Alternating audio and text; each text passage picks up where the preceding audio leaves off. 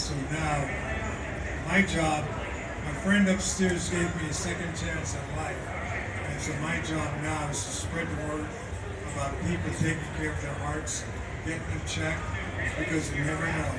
I thought I was, I was healthy, I had no signs. And uh, it knocked me for a loop. And so I'm still recovering. And I got my wife, my wife second nurse right there. She, uh, she's the one that's taking care of me right now. All right, folks, we'll invite you to